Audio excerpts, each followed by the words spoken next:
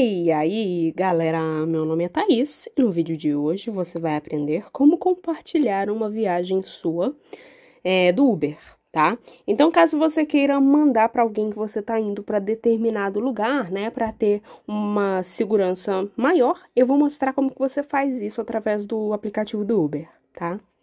Então, primeiro você tem que ter feito um pedido de uma viagem, tá? Então, a gente vai entrar aqui no Uber, eu vou pedir uma, uma corrida, né?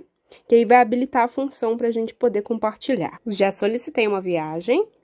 Então é muito simples. Depois que tiver pegado a viagem, você vai clicar aqui na caixinha com três pontinhos e vai clicar aqui, ó, em compartilhar status da viagem. Aí você clica no compartilhar.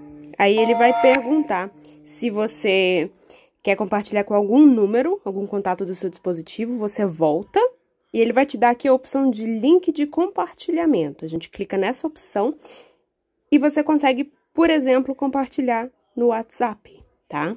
Que aí você pode mandar para um amigo seu ou para alguém da sua família. Então é muito simples. Quem tiver dúvidas, coloquem nos comentários, deixe o seu like, se inscreva no canal e até o próximo vídeo. Tchau, tchau!